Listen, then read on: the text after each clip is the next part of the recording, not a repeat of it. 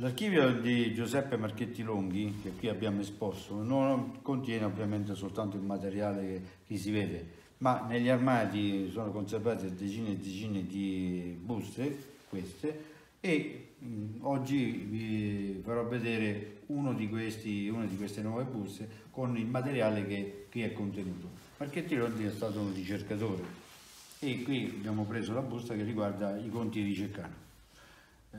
dalla, da questi fascicoli si può capire il modo come Marchetti Longhi lavorava. Faceva un'ampia ricerca archivistica, annotando su questi fogli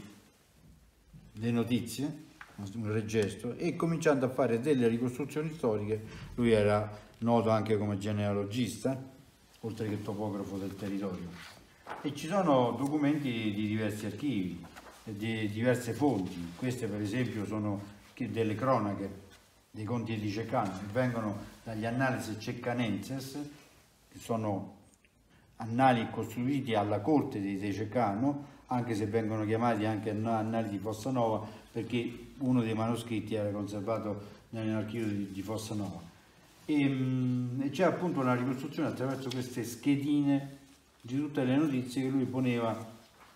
in duplice ordine, di materia e cronologica, all'interno cronologico. E, mh, oltre a questo, questa documentazione locale, lui ricorreva anche ad altra documentazione, come ad esempio l'archivio Colonna, lui ha avuto accesso ai principali archivi romani, ha lavorato nell'archivio segreto vaticano, nell'archivio di Stato di Roma, agli archivi delle grandi famiglie, appunto come questa dell'archivio Colonna, dove ah, qui trascrive la pergamena 25 eh, del um, gruppo 25 numero 97 che è del 22 agosto 1201 lui ne ha fatto la trascrizione. Siamo negli anni di Innocenzo III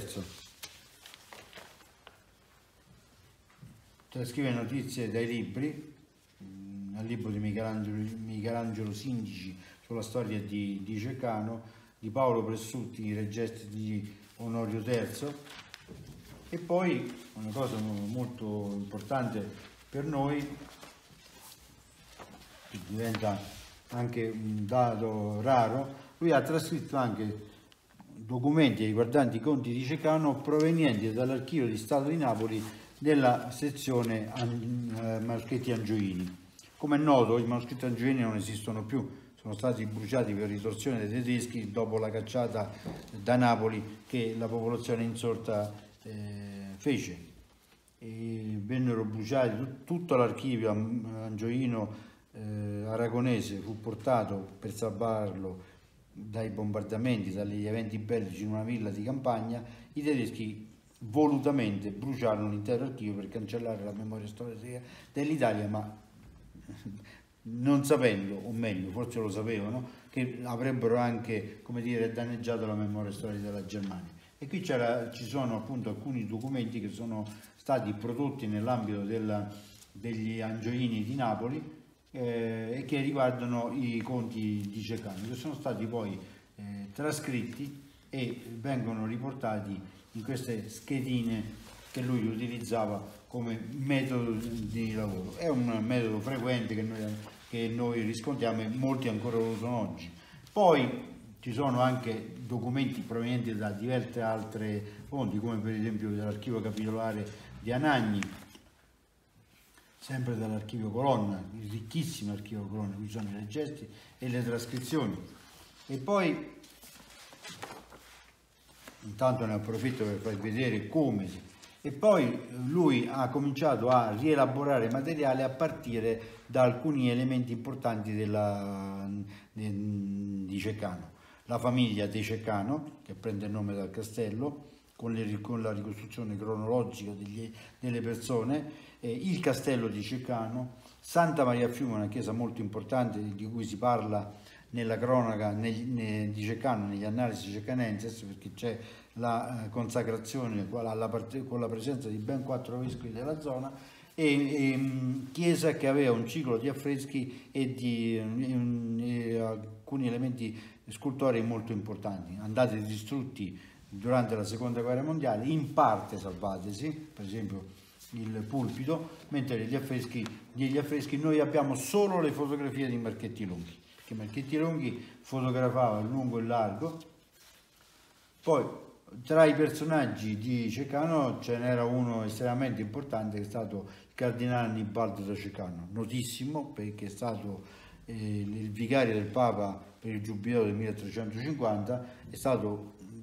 il delegato dal governo dello Stato della Chiesa, da parte, sempre da parte del Papa che eh, si trovava ad Avignone, è famoso per eh, una, grande cena e anche per, suoi, eh, per, per, il suo testamento che diventa un, un elemento importante della, eh, diciamo, della storia culturale della zona. E qui abbiamo anche delle ricostruzioni storiche, alcune non sono dovute a lui, questa infatti eh, questa è sua, eh, una ricostruzione del cardinale Nibaldo di Cecano che è inedita, non è stata mai pubblicata, qui c'è materiale anche inedito. Eh, per, per finire continuiamo nella sua ricerca bibliografica con anche alcune altre ricostruzioni, alcune delle quali sono inedite, qualcuna è stata inserita nei suoi scritti, ma che eh, sostanzialmente sarebbe anche interessante andare a rivedere eh, nell'autonomia. Poi mh, come dicevo lui ha studiato la genealogia dei cecani, qui vediamo gli appunti, non solo ma c'è anche una pianta che riguarda, ecco qui, una ricostruzione genealogica dei De Cecano. E poi anche una, uh, anche una ricostruzione diciamo, dell'ambito territoriale che poi lui ha utilizzato per la famosa pianta delle signorie de, delle varie famiglie, de, insomma, delle varie entità feudali e, mh, nel Lazio meridionale. Qui c'è la ricostruzione di quello che era possibile, questa è la zona dei De Cecano, che hanno Cecano è il castello eh, che dà il nome, ma eh, la loro signoria si erge a cavallo della pianura pontina e della pianura dell'attuale ehm, Ciociaria, quelle che una volta erano la marittima e la campagna